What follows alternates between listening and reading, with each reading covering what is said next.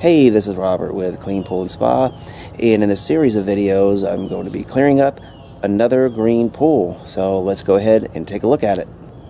So this is a friend's pool. Um, I go to church with him as well, and it's early part of May, and he didn't run the filter uh, all winter. So it's been off for about maybe seven months or so. So what I'm going to do is take a take a walk over here. Um, I went ahead and vacuumed a little bit uh, just to remove some of the dirt and debris off the bottom of the pool, but I want to show you what the difference was. If you can see all that, that is what the entire pool was covered with. Um, it's a really, really th thick blanket of debris and algae. And as you can see, the steps, they are really, really bad. So this pool is really going to be a project for me, but just like the other one, it will get crystal clear. So I'm going to go ahead and show you the readings that I got it as well.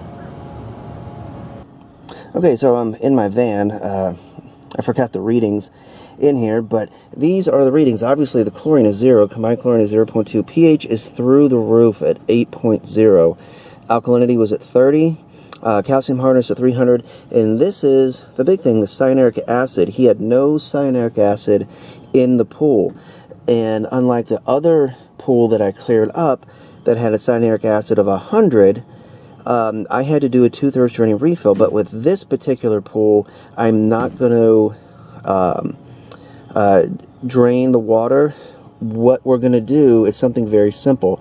I'm going to get dichlor chlorine.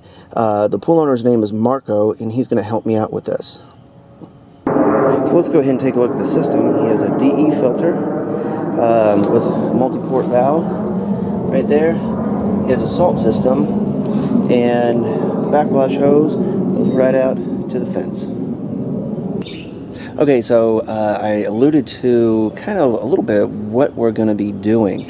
Uh, the first thing that I did was I vacuumed to waste because there was so much dirt and debris in the bottom of the pool. The reason that I did that is because uh, what would happen is if I vacuumed to filter, all of that stuff is going to go into the filter. It's going to clog it up very, very quickly. Vacuuming to waste is a very good way to just get that algae out of the pool.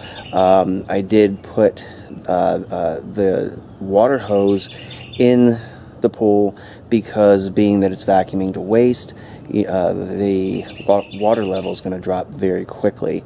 Uh, so that's the very first thing that I did before I did anything, any kind of chemicals or anything. I want to get as much dirt and debris out of the pool as I can. Um, the second thing that I'm going to do is um, put some acid in the pool because I have to get that pH down from 8.4 to maybe around 7.0 to 7.2 because uh, the chlorine is going to be more effective at a slightly lower pH. And then the third thing that we're going to do is shock the pool with dichlor, being that there was no cyanuric acid in the pool. So um, th this is a uh, I guess about a 15, yeah, about a 15,000 gallon pool. Um, I went ahead and measured that out, and uh, I'm going to put in three pounds of dichlor, and I'm going to allow it to filter for about, um, uh, you know, about 10 hours or so, and then retest. Well, first I'm going to do the acid. Uh, and then about two, three hours later, we're going to go ahead and shock with dichlor. And then I'm going to retest everything, the chlorine and the cyanuric acid. I want to get that cyanuric, cyanuric acid to around 30. And then once uh, I hit the 30 parts per million mark with the stabilizer, I'm going to go ahead and shock with chlorine. So we'll just see how it goes. I think day two or three, um, Marco went ahead and shocked with uh, three pounds of dichlor and he put a quart of acid in the pool. Um, again, the reason for the dichlor is because there was no cyanuric acid in there, so uh, it is clearing up pretty well. And I'm just going to go ahead and sweep and take the readings, and we'll go from there. So I took the readings and uh, just kind of what I expected. The chlorine was down to zero. Uh, the pH came down from about 8.4 to 7.4. Uh, I told him to put a quart of acid in there. Didn't touch the alkalinity at all. And I'm going to have to shock it again, obviously, with uh, liquid chlorine, but I'm also going to use some more dichlor because he put, I thought he put two bags or three bags in. He only put two bags in and it just raised it just a little bit, but it's really not too much. So I'm going to have them add about four more bags of dichlor. I want to get that to around 30 parts per million. Range is supposed to be 30 to 50. But you can see, hopefully you can see this. This is what I've been doing is, if you can see, that's the uh, algae that's on the side.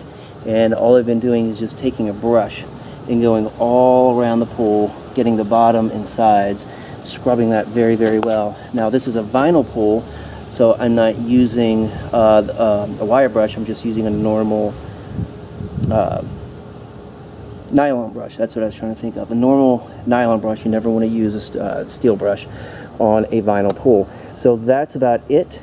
And see, as you can see that right there as well, that's where I stopped. That's what it looks like now. I still have that more to go. Um, but we're going to go ahead and shock the pool again with liquid chlorine and with dichlor.